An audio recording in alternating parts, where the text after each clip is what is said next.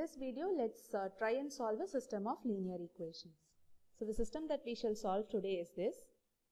x minus 3y plus z is equal to 4 minus x plus 2y minus 5z is equal to 3 5x minus 13y plus 13z is equal to 8. So if we write this system in the matrix form, that is in the form Ax is equal to B, we get the coefficient matrix that will be 1, minus 3, 1, minus 1, 2, minus 5, 5, minus 13, 13. Into the matrix of unknowns that is x, y, z is equal to the right hand side vector which is 4, 3, 8.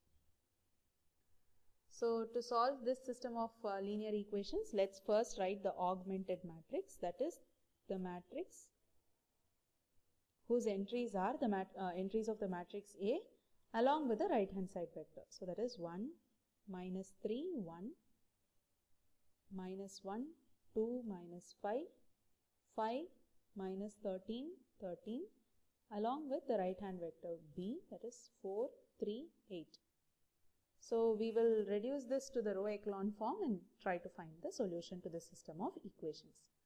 So the first entry is already 1. So there's nothing that needs to be done with the first row.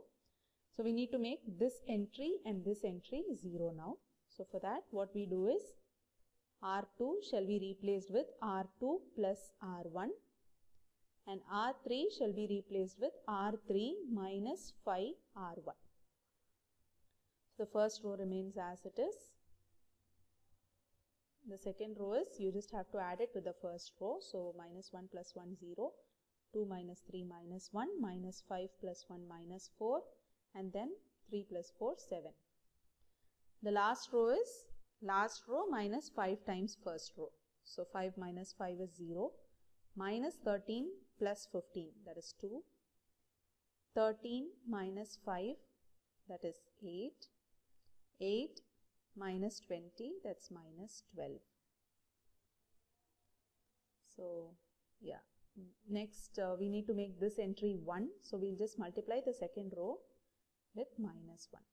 So the new second row will be minus old second row. So 1 minus 3 1 4 first row remains as it is second row we multiply it throughout by minus 1.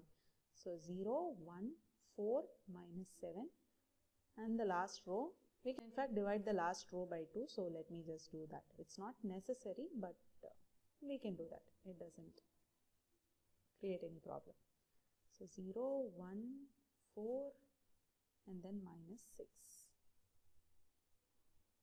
yeah, so the next operation that we do is to make this entry 0 for that what we do is R3 is replaced with R3 minus R2 so that gives 1 minus 3, 1 and then for the first row remains as it is, second row also remains as it is.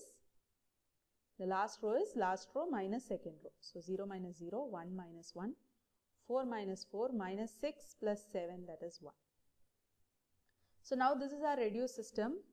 So the system that we have is x minus 3y plus z is equal to 4 and then y plus 4z is equal to minus 7 and in the last row what we have is 0 is equal to 1. This is absurd. This is not possible. So which means that this system does not have a solution. No solution. So if this system does not have a solution, it means that the original system that we started with also has no solution. So we can check this uh, geometrically by using GeoGebra. So I've plotted the three equations on GeoGebra. So the equation, the plane corresponding to the first equation is this, the second one is this, and the third is the pink plane. So uh, you can actually see that these three planes don't intersect at a common point. It's a little difficult to see, but uh, we can see that these planes don't intersect at uh, a common point. So yeah, from this point of view, I think it's perfectly seen. So I have also plotted the line of intersection of planes 1 and 2.